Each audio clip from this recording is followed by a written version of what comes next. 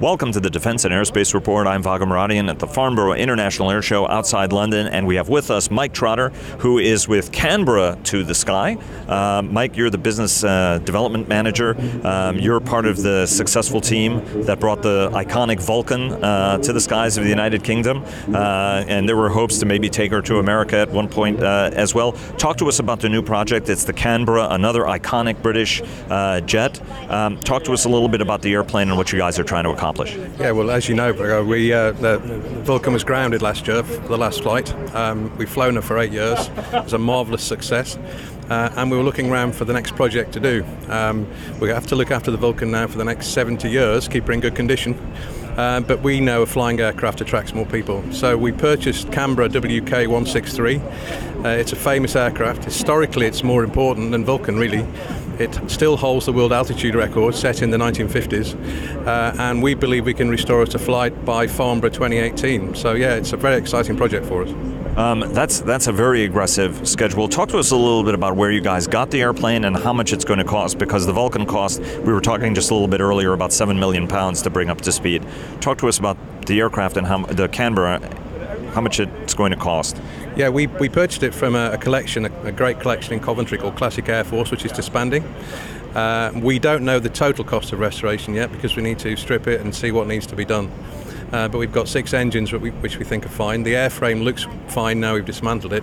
So we're estimating about one, 1.2 million pound sterling to do the restoration. How much money do you have raised? How much money do you have to raise? At the moment, we've raised very little. It's tens of thousands of pounds because we've only just launched the Canberra to the Sky Trust. Uh, but um, we've started the we've started the project, and we hope now to gain real momentum here at Farnborough.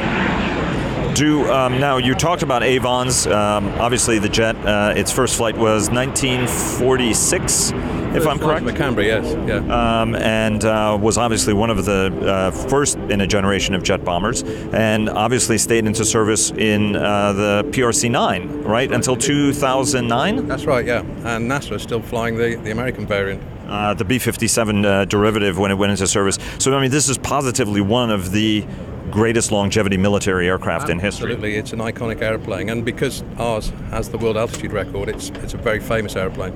So we're very proud to be working with it. Where I was going with that question originally, though, was that it's powered by Avon engines, which are a first generation uh, jet engine.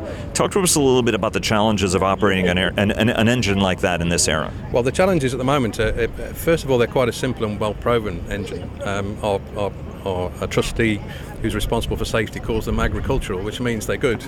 Um, the problem we have with the Avon, of course, is it's the engine that powers the Hunter, and at the moment they're all grounded because of the Shoreham tragedy.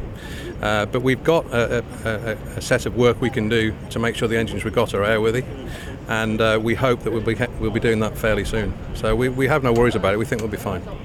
How many people are associated with the group, and where can people go to contribute or follow your progress? Uh, associated with, with the group at the moment, in terms of our followers, do you mean? Yeah, roughly how many people on the team that are helping you do this? Oh, the, the, the, the, full team of employees altogether is about 17, 18 people.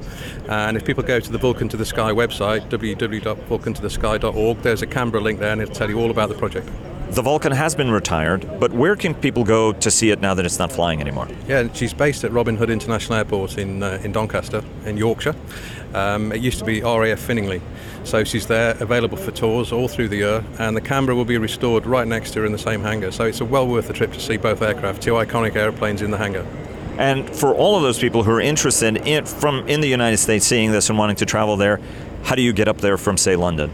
Uh, it's very easy. If you fly into London, there's a very quick train service in London to Doncaster. It's two hours on the train and a quick taxi ride, and you're there. And it's a lovely ride to see the countryside. Absolutely, absolutely. Mike, thanks very much. Best of luck on the project. Thank you.